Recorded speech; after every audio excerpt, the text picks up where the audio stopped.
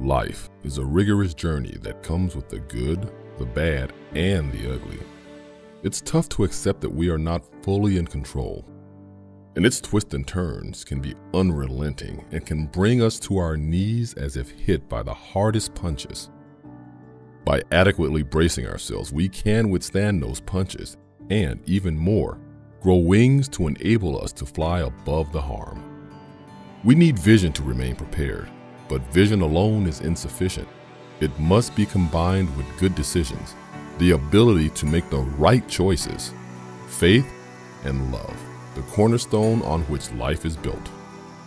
A Wounded Deer Leaps the Most is about overcoming the struggles of life and pulling victory from the pain that comes with it. The author's hope is that readers can use the lessons herein and create their own blueprint for survival and success. A Wounded Deer Leaps the Most. Available now.